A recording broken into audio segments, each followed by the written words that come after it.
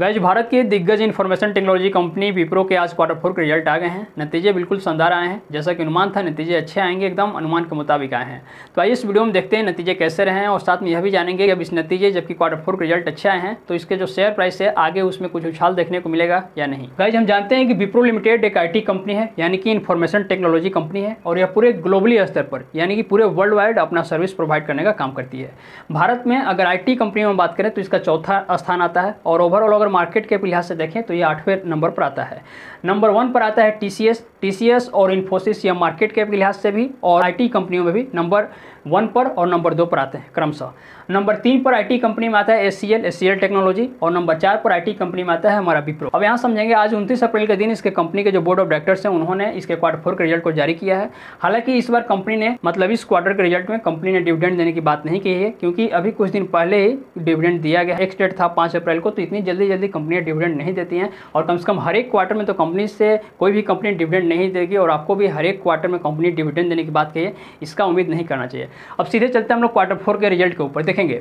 Quarter four के लिए यह कॉलम आपको दिख रहा है क्वार्टर थ्री यानी कि पिछले बार के जो क्वार्टर का रिज़ल्ट आया था, उसके लिए ये कॉलम है। और यह जो कॉलम आप देख रहे हैं, वो पिछले साल के क्वार्टर फोर के नतीजों को बताने के लिए बनाया गया है। समझेंगे। क्वार्टर फोर में विप्रो का जो रेवेन्यू हुआ है, दो लाख तेरह हज़ार छः सौ अट्ठाईस करोड़ रुपए का हुआ है। जबकि पिछले क्वार्टर की अगर बात करें तो उसमें दो लाख सात हज़ार नौ सौ पंद्रह करोड़ रुपए का हुआ था।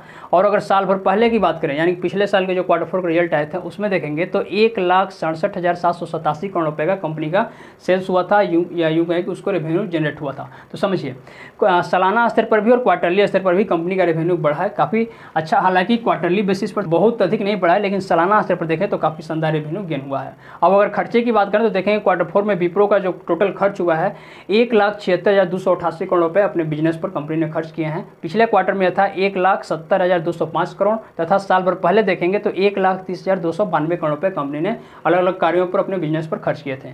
तो आप देख रहे हैं, जैसे जैसे कंपनी का रेवेन्यू बढ़ा है, उसी तरह से कंपनी का खर्चा भी सालाना स्तर पर भी और क्वार्टरली स्तर पर भी बढ़ा है।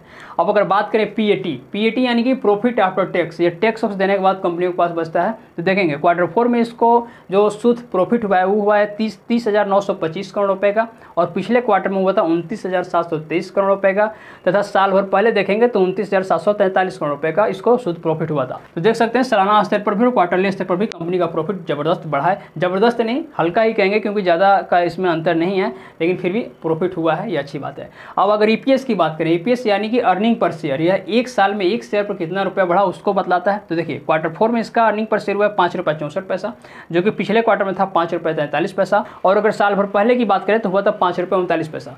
यानी कि यहाँ भी देख रहे हैं सालाना स्तर पर और क्वार्टरली स्तर पर इसका अर्निंग पर शेयर बढ़ा है। अगर ओवरऑल देखें तो जो क्वार्टर फोर के नंबर निकल कर सामने आए हैं, काफ़ी शानदार आए हैं। क्वार्टर फोर का इसका रिज़ल्ट काफ़ी अच्छा आया है। इसके बावजूद आज विप्रो के शेयर में गिरावट देखने को मिला है। इसके पीछे कारण यह है कि ओवरऑल मार्केट का सेंटीमेंट इन दिनों निगेटिव है। मार्केट खुद ही डाउन जा रहा है। और आईटी सेक्टर की जितनी आज कंपनियाँ थी, सब में गिरावट देखने को मिली है। तो ये कोई खास चिंता की बात नहीं है। कंपनी शानदार है। बिज़नेस मॉडल शानदार है। आप बिज़नेस मॉडल को देखकर उसके फंडामेंटल को देखकर उसमें इन्वेस्टमेंट कीजिए और समय दीजिए, आपको मुनाफा होगा। उम्मीद करता हूँ वीडियो अच्छी लगी होगी, जानकारी समझ में आई होगी। मन में कोई सवाल है तो हमसे कमेंट में ज़रूर पूछिए, मैं उसका रिप्लाई दूँगा।